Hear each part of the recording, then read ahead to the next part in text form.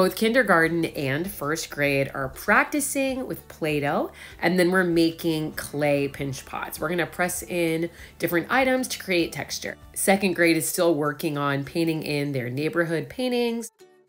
Third grade is talking about good coloring techniques and they're coloring in those split self portraits.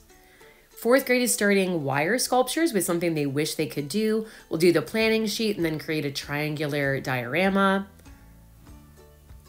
Fifth grade is working on finishing up their paper folding designs. That's a lesson from Art with Mrs. Nugent. I'll pop in some pictures of how those are going so far. And sixth grade is finishing building with the clay and they'll complete an exit ticket this week.